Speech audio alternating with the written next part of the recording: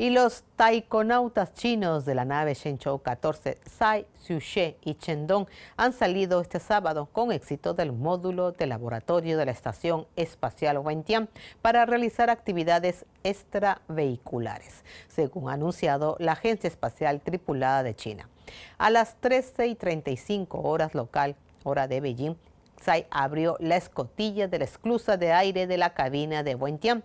A las 15 y 33 horas, tanto Tsai como Chen estaban fuera. Durante las actividades extravehiculares, la taikonauta Liu Yan se mantuvo dentro del módulo central, apoyando a sus compañeros de tripulación, según ha hecho público la Agencia Espacial Tripulada de China.